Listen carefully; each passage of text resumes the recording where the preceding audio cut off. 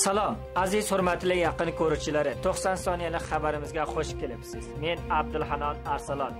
Bugun dushanba milodi 2023 6 fevral va hijra shamsi 1401 17 dal. Bugun ertalab 7.8 daraja rishtalik zilzila Turkiya janubi mintaqasini qimirlatdi. Dastlabki guzorishlarga ko'ra ushbu voqeada 15 kishi jon bergan va ko'plab binolar vayron etilgan va qurbonlar soni ko'payish ehtimolga ega.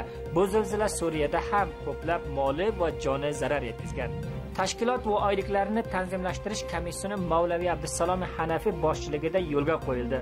Ushbu yig'inda 1402 yil moli rejalari tashkiloti borasida so'zlashilgan. Bu komission davlatiy idoralarda tashkilot ko'paytirilish oldini olish uchun va maslaki bo'limlarda diqqat qilinishi borasida bahs qilingan.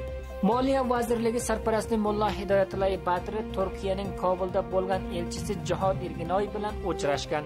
Bu uchrashuvda Erginoy janoblari Turkiya san'at bo'limida yutuq imkoniyat va yaxshi tajribaga egadir va bu to'g'rida Afg'onistonda yordamchilik etadi deb aytgan. Afg'oniston va Pokiston o'rtasida 20 ovora kriket o'yinlari o'ynaladi. Pokiston kriket board boshlig'ining aytishicha, mart oyining so'nggilarida Afg'oniston barobarida Pokiston milliy kriket o'yinchilari 3 20 ovora kriket bellashuvini yo'lga qo'yadi. Yaqin bilan bo'lganingiz uchun rahmat. Biz sizlarga muhim va ishonchli xabarlarni yetkazish uchun sa'y va harakat qilamiz.